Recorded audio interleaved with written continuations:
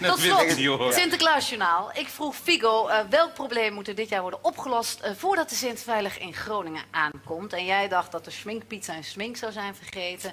Maar nee, de pieten zijn nog gewoon zwart. Ze waren wel iets anders vergeten. De staf. De staf is er. De staf is er niet. De staf is er niet. Eh, dan moeten we toch terug. Ah ja, dat is heel erg vervelend. Sinterklaas kan inderdaad niet zonder staf. Nou, we moeten er maar even niet aan denken wat er gebeurt als de stoomboot weer teruggaat naar Spanje.